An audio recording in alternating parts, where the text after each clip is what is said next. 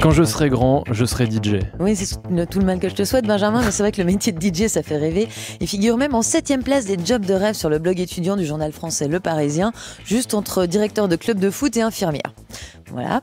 DJ, c'est le métier de Green Giant, un job qu'il exerce entre autres dans l'émission Downtown Boogie, dans les clubs et aussi pour quelques mandats d'entreprise euh, dans des fêtes privées. Et pourtant, au départ, DJ, pour lui, ça devait rester un hobby. J'avais plus ou moins fini mes études, j'avais fait deux, trois petits boulots à gauche, à droite. Je cherchais un emploi euh, fixe que j'ai eu de la peine à trouver dans mon domaine. Et euh, parallèlement à ça, je commençais à faire de plus en plus de soirées et de mieux en mieux payé. Donc, au bout d'un moment, je me suis dit, ah, mais au fait, j'arrive à boucler mon mois juste avec les soirées. Et bon, ben, allons-y un moment comme ça, puis on verra bien où ça s'arrête. Quoi. Mais c'était pas un plan de carrière au départ? Pas du tout. Absolument pas du tout. Et je pense que ça m'a sauvé. Il faut que le moteur du truc, ça reste la passion, l'amour de la musique, etc. et pas euh, l'envie de gagner de l'argent. Ouais, parce qu'il faut voir les choses en face. Un vivre de la musique en Suisse, c'est compliqué. Pour un Stéphane Echer un Green Giant, il y a beaucoup de gens qui galèrent, comme me l'a expliqué Marc Pernou, sociologue spécialiste des groupes professionnels et concepteur du projet Musician Lives. Le projet en question, il porte sur l'étude des parcours et des revenus de 1300 musiciens en Suisse romande, pour la grande majorité des musiciens instrumentistes, mais aussi quelques DJ. Il y a de plus en plus de gens, disons, qui intègrent à leurs activités professionnelles une part d'activité artistique et donc d'activité musicale. Mais encore une fois, c'est pas forcément des gens qui ne vivent que de la musique. 40% des gens que nous avons rencontrés ont un job à côté. Alors, avoir un job à côté, ça va du tout petit job d'appoint qui rapporte à peu près 20% euh, du revenu euh, annuel à un job principal, disons, qui va rapporter 80% du revenu annuel, la musique euh, n'étant qu'un revenu accessoire. Il y a de plus en plus de gens qui gagnent de moins en moins bien leur vie. En fait, c'est ça l'idée. Dans les années 80, par exemple, vous aviez beaucoup moins de musiciens, beaucoup moins de gens qui essayaient de gagner leur vie avec la musique. Et du coup, forcément, ils étaient beaucoup mieux payés. Et cette concurrence, elle serait encore plus forte pour les DJ, selon Marc Pernou, à cause des particularités même de la pratique du DJing. Tous les DJ que je connais en Suisse ont un job à côté. Il n'y en a pas un qui vit de ça. Les quelques-uns qui vivraient de ça en Suisse, bon, mais c'est vraiment le tout petit top de la pyramide, quoi. Ça concerne quelques individus en Suisse romande, probablement, pas plus.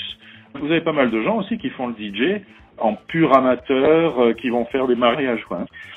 Donc finalement, je pense qu'il y a quelque chose de très particulier dans le DJing, c'est encore une fois ce grand continuum entre les profanes et les pratiquants, et que cette espèce d'indétermination, de zone grise finalement, de gens qui font ça pour le plaisir, mais qui se font un petit peu payer quand même, mais qui sont loin de se faire assez payer pour en vivre, du coup, ça fait pas vraiment un marché professionnel, ça fait un marché d'activité, mais on peut pas parler d'un marché professionnel comme on pourrait en parler pour les musiciens instrumentistes. Bon, en Suisse romande, il y a Mr. Mike qui en vit. Hein. Il y a Mr. Mike, oui, il y, a quelques DJ d'électro aussi qui, dont je sais qui font uniquement ça, mais c'est vrai que la plupart des gens qui s'adonnent au DJing sont forcés d'avoir un boulot à côté. généralement, quand c'est des Suisses romands, en fait, ils sont partis vivre ailleurs. Certains vivent à Ibiza ou voilà, ou, n'ont même plus de, de base fixe.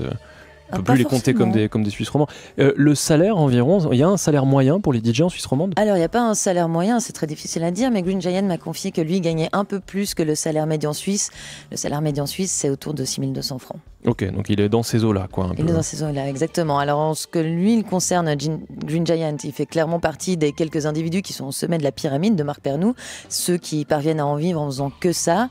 Et pour lui, cette profusion d'amateurs qui essaiment dans le milieu du DJing, c'est pas franchement une menace. Il énormément de gens parce que la technologie le permet aujourd'hui.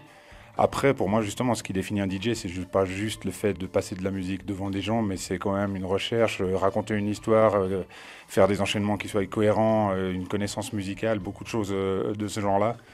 Si les gens ont du plaisir à jouer de la musique, même si c'est avec un iTunes, voilà, bah, très bien. Genre, j'ai rien, absolument rien contre. Tant qu'on considère pas que c'est le même art que ce que nous on exerce. Mais non, c'est pas une concurrence. Euh, la preuve est que la plupart des DJ qui tournent, en tout cas dans mon milieu, euh, ils s'approchent tous de la quarantaine. Alors une autre particularité des métiers artistiques et entre autres et du métier de DJ en particulier, c'est que le boulot est très loin de s'arrêter quand on quitte le DJ booth Green Giant.